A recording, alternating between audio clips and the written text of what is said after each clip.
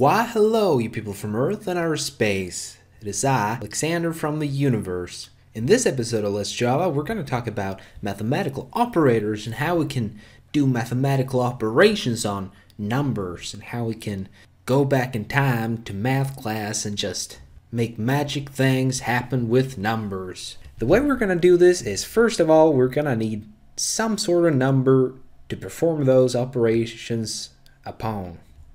Let's make an integer. We're going to call this stove because that totally makes sense. We're going to set it equal to 67. That ain't part of the Fibonacci sequence. That got to be 89. And from there on, we can be like, hey, let's print this number out, shall we? Like, like that. We use a print line and we say stove. When we run this now, it's going to say 89. The easiest thing you can do with those numbers is that you can either increment them or decrease them by 1. There's a really simple method in order to do this. We can type in stove minus minus or stove plus plus. The first line here is going to remove 1 from stove, who's going to be 88. And the second line here, that's going to add 1 onto stove, and it's going to be 90. So that but it's not going to be that it's going to go back to 89 because we already removed one from there. So if we were to run this, it's going to say 89. If we were to remove one of those, it's going to say 90. If we were to say minus minus instead, it's going to say 88. Bada bam boom, it does say 88. Now this is all very well, but what if we wanted to, say, remove more numbers than the ones we're actually removing right now? Then what we can do is we can say we say that stove is equal to stove plus 89, for example. We're to run this now, it's going to say 178, because stove is equal to whatever stove was plus 89. But there is an easier way to do this. That is, rather than typing stove twice, we can say stove plus equals stove, if that's what we want to do, or stove plus equals to 89 we run this now, it's going to say 178 because we're doing the exact same thing by using this operator here, the plus and the equal sign, in order to add 89 onto stove. We can do the same thing with minus. It's going to say 0 because 89 minus 89 is in fact 0. If we wanted to, we could even use an asterisk in order to do multiplication. And perhaps we don't want to multiply 89 by 89. That would be a power of 2. Maybe we want to multiply this by 2 instead. We run this, it's going to say 178 again. So let's do 3. It's going to say 267. And there is also division. Stove divided by equals 3. Now there is a thing about division. Say we had, say stove had the value of 10 or run this, it's gonna say 3.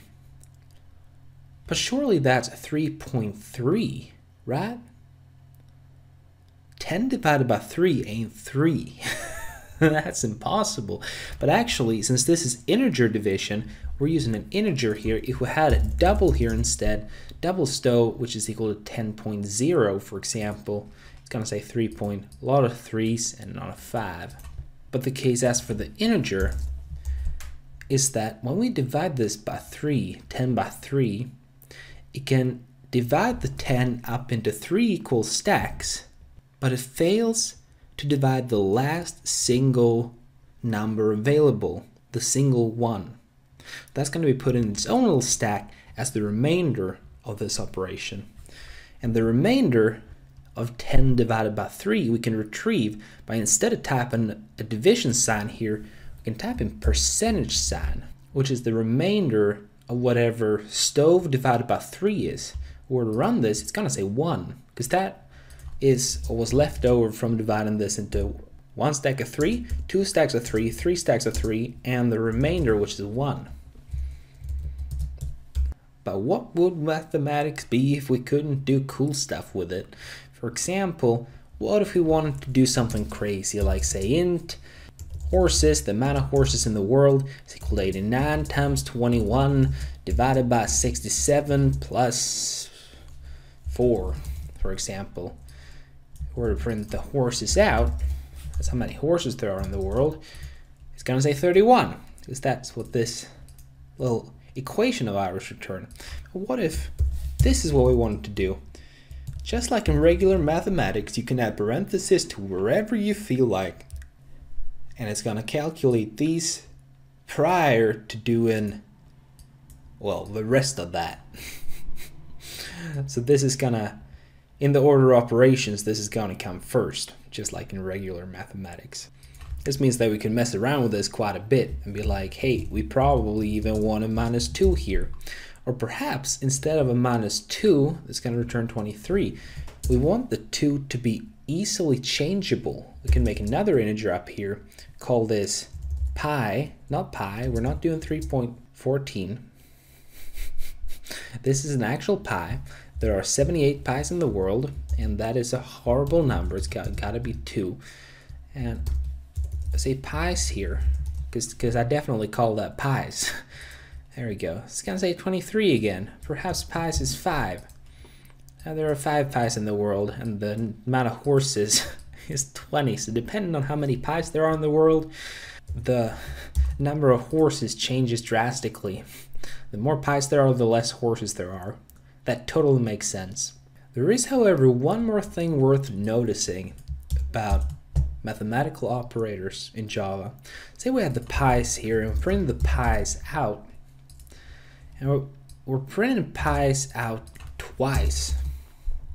And we, as a matter of fact, wish for the first pi to say 8 and the second to say 7. What we could do is add a pi's minus minus in here. But the smoother way, and perhaps the one with worse readability is by putting minus minus after the pi's in here.